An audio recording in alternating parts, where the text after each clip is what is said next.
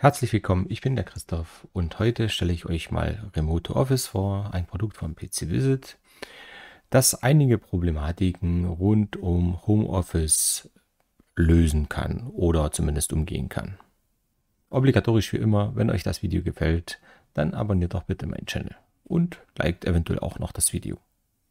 Natürlich ist dieses Video ein bisschen Werbung für das Produkt und auch für mich, deshalb rechts oben die kleine Einblendung.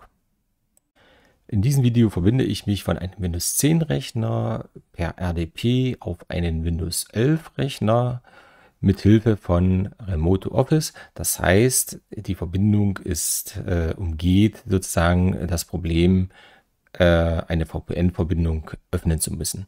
Ich gehe natürlich jetzt nicht tiefer äh, technisch ins Detail, das würde jetzt den Rahmen völlig springen. Wer äh, da eine entsprechende Beratung haben will oder halt über Sicherheitsaspekte äh, sich äh, austauschen möchte, der kann mich jederzeit kontakten. Und ähm, ansonsten würde ich das jetzt einfach mal erst so beginnen. Für die Präsentation habe ich jetzt vorbereitet. Ich habe hier das äh, Host-System, also das, das äh, äh, Quellsystem, das ist jetzt mein Windows 10. Und in eine virtuelle Maschine habe ich jetzt ein Windows 11 eingebracht. Und ähm, auf dieses Windows 11 will ich mich jetzt äh, mit Remote to Office einwählen. So, das habe ich aber alles schon jetzt vorbereitet, ähm, weil das sonst ein bisschen länger dauern würde.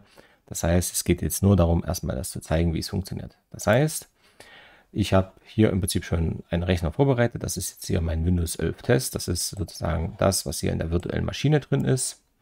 Und ich verbinde mich jetzt hier drauf. Das heißt, hier oben hat man jetzt die Möglichkeit, eine Browser-Sitzung oder eine RDP-Sitzung zu öffnen. Im Browser, dann würde man das Bild im Browser sehen. Das ist aber dann gleich wie wenn man jetzt sich mit Teamweaver oder mit äh, irgendwelchen anderen Fernwartungstools auf den Aufwender. Also dieselben Problematiken würden dann zum Thema stehen. So, hier sieht man schon, was man hier alles mitnehmen kann. Man kann halt äh, die Drucker mitnehmen, externe Geräte, Mikrofon, Audio. Das ist gerade, wenn man in der Firma zum Beispiel irgendwelche Kommunikationssachen äh, hat, zum Beispiel ein äh, rechnergestütztes Telefoniesystem, dann müsste man gar nichts bauen, um das nach Hause zu bringen, sondern man könnte sozusagen äh, das lokale Mikrofon, das Audio mitnehmen und könnte sozusagen die, äh, den Client in der Firma dafür nutzen. Und hier sieht man auch, man kann ja natürlich jetzt einen Monitor oder halt äh, jetzt in meinem Fall Monitor 1 und 2 oder halt alle Monitore. Wir wollen natürlich jetzt alle Monitore mitnehmen. Und hier wählt man sich mit dem äh, Namen, Rechnernamen, den man äh, oder mit dem Rechner, Username und Passwort des Zielrechners ein. So, in meinem Fall ist das jetzt einfach nur Install und Install. Und aus sicherheitstechnischen Aspekten empfehle ich zum Beispiel hier nie die Anmeldedaten zu speichern. So, wir verbinden uns jetzt einfach und da sehen wir, geht der äh, Windows eigene Remote Desktop Client auf und der verbindet sich jetzt auf meine Windows 11 Instanz. So, ich mache das jetzt mal kleiner, damit man das hier mal sieht. Also ähm, das ist im Prinzip die virtuelle Maschine. Man sieht, der hat sich hier jetzt abgemeldet. Also das ist nicht so wie bei einer normalen Fernwartung, dass halt an dem äh, PC, der jetzt in der Firma stehen würde, äh, da auch noch jemand auf den Bildschirm gucken, äh, gucken könnte. Daher auch äh, datenschutztechnisch äh, wesentlich besser, als jetzt das äh, bei diesen meisten Fernwartungstools der Fall ist. Und ähm, das zweite, ich schalte jetzt mal den zweiten Monitor mit äh, dazu in der Aufnahme. Machen wir mal Vollbild und wir sehen, wir haben jetzt zwei Bildschirme, wo das Windows 11 drauf ist. Das heißt, wir können jetzt zwischen den Bildschirmen auch hin und her schieben. Dann haben wir hier im Gegensatz zu den normalen Fernwartungstools die äh, Laufwerke des, äh, ich mal, des äh, Rechners zu Hause, sage ich jetzt mal. Das heißt, wenn ich jetzt hier auf das Laufwerk L gehe, dann sehen wir im Prinzip die Ordner des Laufwerks. Kann man hier parallel auch nochmal anschauen. Moment, ich mache jetzt mal wieder ein Bildschirm nur an. Ähm, das heißt, wir haben hier das Laufwerk L. Na, das sind die Programme, wenn ich hier Vollbild mache. Das sind im Prinzip dieselben Ordner und wir haben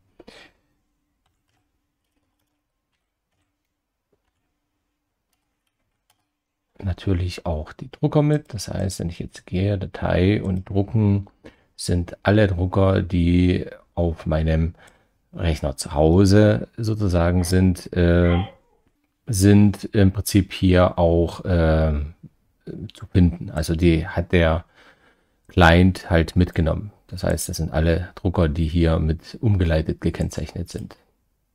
Gehen wir mal aus dem Vollbildmodus wieder raus.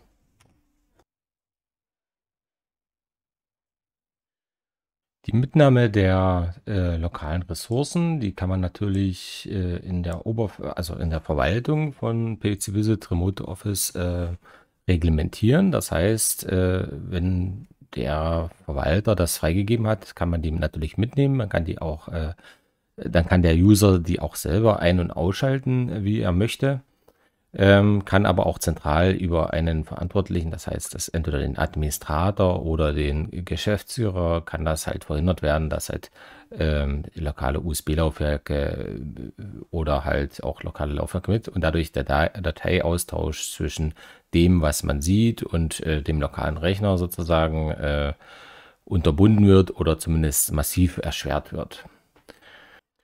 Damit das mit der Remote-Desktop-Verbindung auf den Zielrechner funktioniert. Ich mache jetzt mal die Sitzung zu und hier gehen wir jetzt erstmal wieder über die virtuelle Maschine rein. Muss man einige Einstellungen an dem äh, Zielbetriebssystem machen. Und zwar unter Windows, Windows 11. Das ist auch unter Windows 10 so, nur dass die Menüs ein bisschen anders äh, zu finden sind. Aber ich kann es ja dann nochmal zeigen. Das heißt, das ist jetzt diese Windows 11 Maschine. Da geht man hier äh, auf die Einstellung, auf System und hier hat man Remote Desktop. So, da geht man einfach drauf. Dann sollte das hier aktiviert sein. Bestätigen, ist es aktiviert. Und hier kann man dann Remote Desktop Benutzer hinzufügen. Das heißt, also Install ist jetzt schon dazugefügt und jetzt kann ich jetzt hier einen Benutzer raussuchen und dem das Recht geben. So, alle Nutzer, die hier jetzt nicht äh, ähm, hinzugefügt wurden, haben äh, in der Regel erstmal keinen Zugriff. Das heißt, bei der Verbindung wird da eine Fehlermeldung ausgegeben. So, unter Windows 10 ist ähnlich, äh, ein bisschen, bisschen versteckter. Man kann hier oben aber suchen, Remote Desktop-Verbindung zu diesem Computer zulassen. So, dann hat man hier im Prinzip auch diese Punkte und kann hier auf diese Erweiterungen gehen, Benutzer auswählen. Dann kann man hier die Benutzer hinzufügen. Und natürlich muss man hier diese, äh, na, dieses Häkchen nach unten setzen, damit die Remote-Verbindung äh, mit diesem Computer auch zugelassen wird. So, das war jetzt mal ein ganz kurzer Rundumschlag. Äh, ich, wie gesagt, ich bin jetzt absolut nicht auf äh, irgendwelche technischen Besonderheiten oder auf oder wie die Technik insgesamt funktioniert eingegangen. Auch habe ich jetzt den Sicherheitsaspekt nicht beleuchtet. Das würde ich dann eventuell in ein, zwei Folgevideos machen, sonst würde dieses Video zu lang werden. Wenn es euch aber erstmal gefallen hat, bitte abonniert meinen Channel und ein kleiner Like und vielleicht meldet ihr euch äh, bei mir oder bei PC Visit, um mehr zu PC Visit Remote Office zu erfahren.